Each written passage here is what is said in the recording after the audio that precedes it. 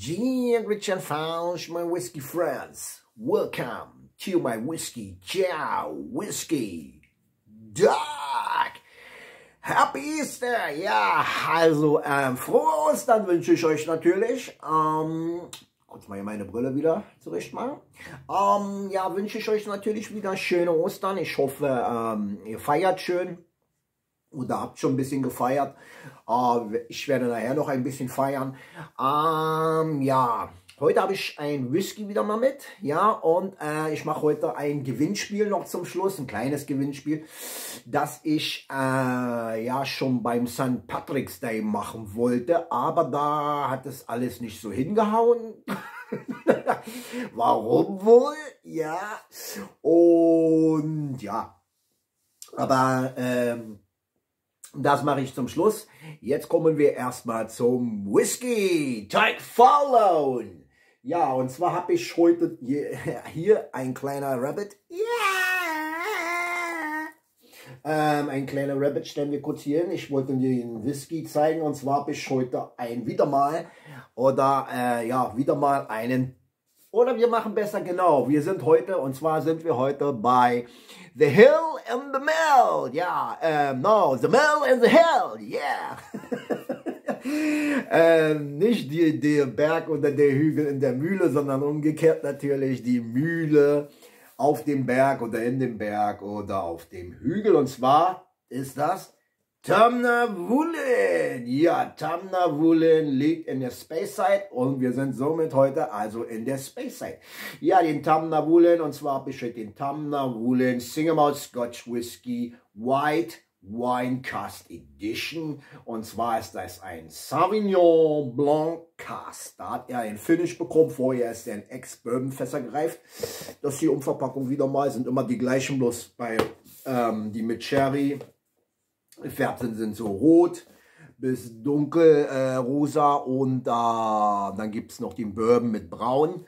Und ich hatte ja schon alle, glaube ich, von, von denen bis jetzt, außer die Hochs, die, also die älteren Whiskys, die von 1900, ich glaube 1970, 1975, 1982 oder so, ähm, sind aber auch Unsummen von Preisen und äh, ja, man muss ja, ich kaufe jetzt nicht mehr alles, habe ich ja gesagt, dass ich nicht mehr alles kaufe.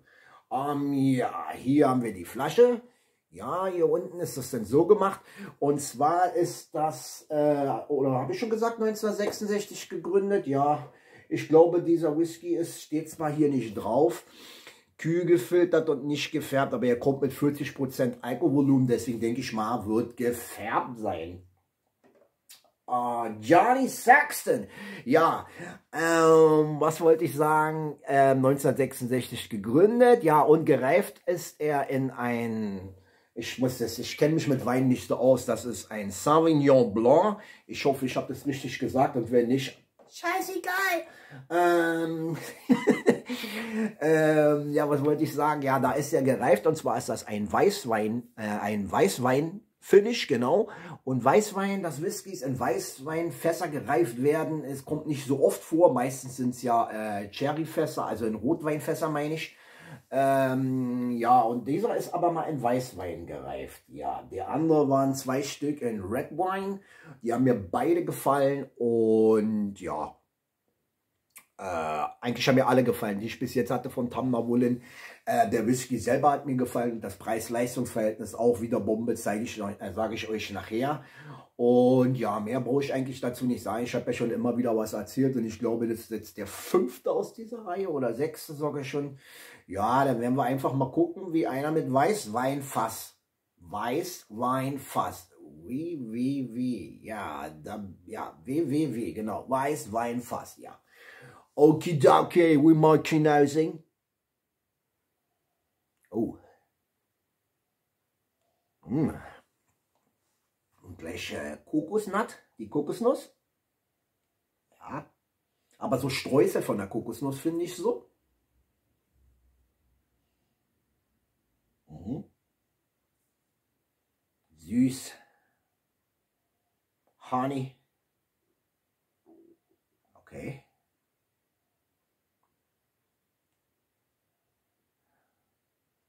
Ja, und jetzt wunderschön kommt jetzt sanfte Melone. Ja. Leicht, leicht Melone, nicht zu doll. Mhm. Teig Fallon. Johnny Saxton. Ähm, ja.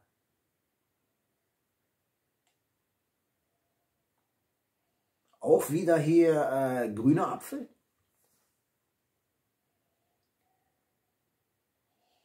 Und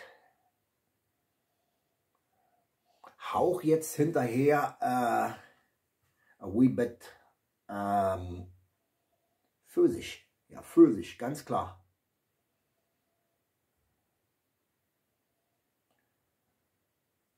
Die Melone, die ich eben hatte, die geht jetzt so etwas rüber zur Honigmelone, genau. Es war erst, es war erst äh, die normale, die rote Melone. Und jetzt ganz klar wird äh, sie überzogen von der süßen Honig und geht rüber zur Honigmelone. Es ist aber alles nicht ähm, überstark. Ja, wird halt ein junger Whisky sein natürlich.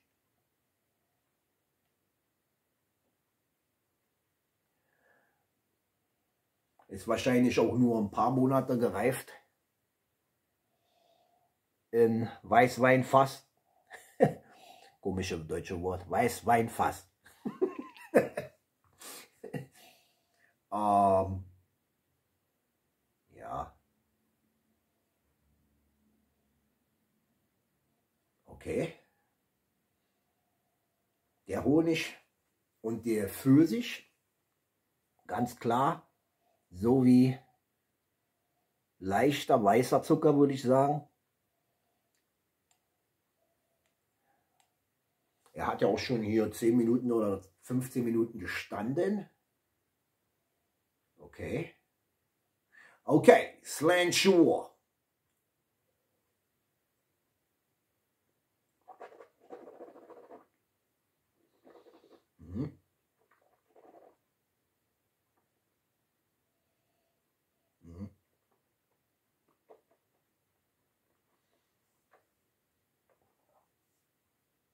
Wow. Mm. herrliche, saftige Zitrone. Und beim Runterschlucken kam gleich ein süßer Antritt von Ahornsirup. Sirup.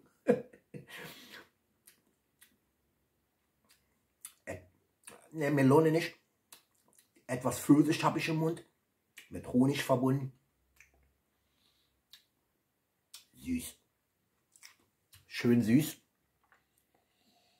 die Kokosnuss, die man hier drin hat, in der Nase, you don't have it, du hast nicht im Mund das drin, ne? Nein. Im Mund hast du nicht, aber in der Nase immer noch. Man kann, ja, sagen, dieser Whisky, er geht ziemlich schnell weg. Er hat, würde ich noch nicht mal zum mittellangen Abgang sagen, auf gar keinen Fall. Ich würde sagen, er geht schnell weg. Er ist sehr lecker am Anfang, verfliegt aber ziemlich schnell. Also wenn man das ganze Zeit im Mund haben möchte, so doll, dann muss man die Flasche also ziemlich schnell austrinken. dann hat man es immer drin. Sonst wunderbar. Ja, drinne. Die grünen Äpfel bleiben noch. Der Honig auf alle Fälle überwiegt. Die Süße hier drin, die bleibt. Die bleibt, die verfliegt nicht. Aber wie gesagt, im Mund ist ja ziemlich schnell weg. Okidoki, Slanchuo.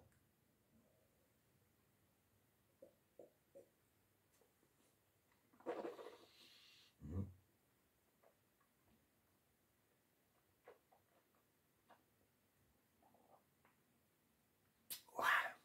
Lecker. Mmh. Oh, Süße.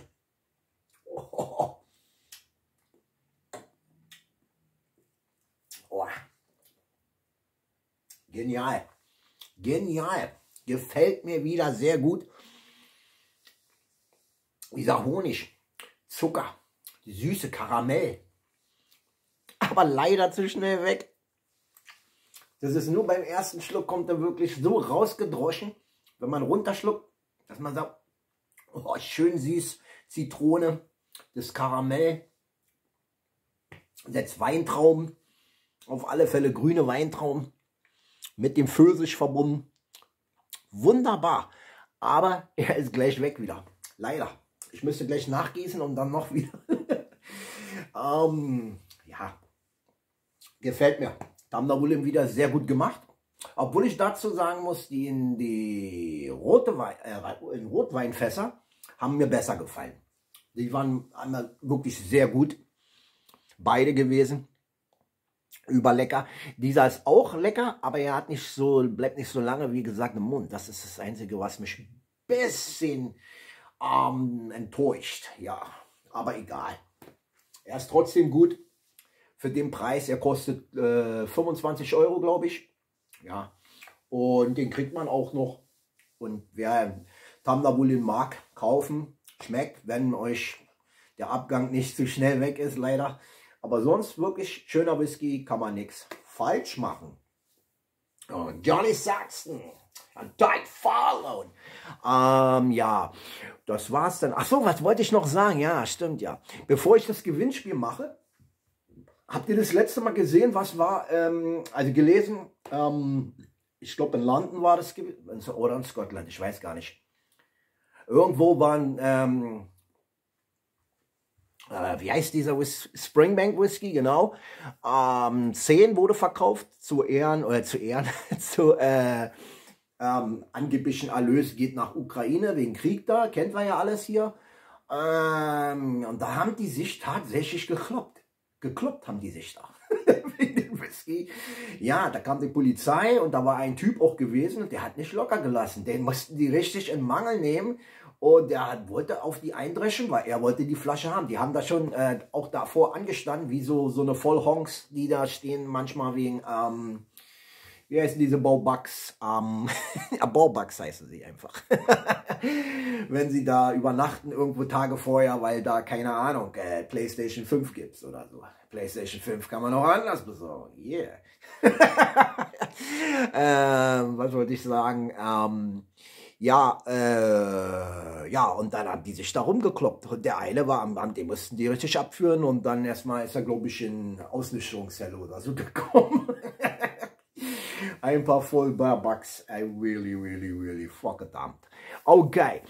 Äh, ja, jetzt machen wir das Gewinnspiel. Und zwar ist eigentlich eine ganz einfache Frage.